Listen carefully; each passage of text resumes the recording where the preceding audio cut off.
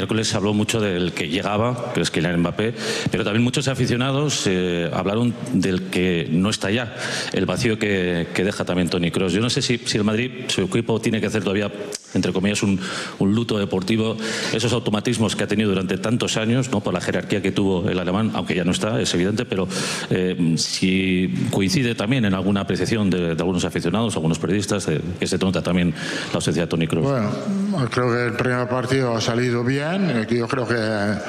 Eh, Siempre echaremos de menos Tony Cross porque Tony Cross era un jugador especial y buscar un otro Tony Cross es imposible, entonces el equipo tiene que adaptarse a algo nuevo.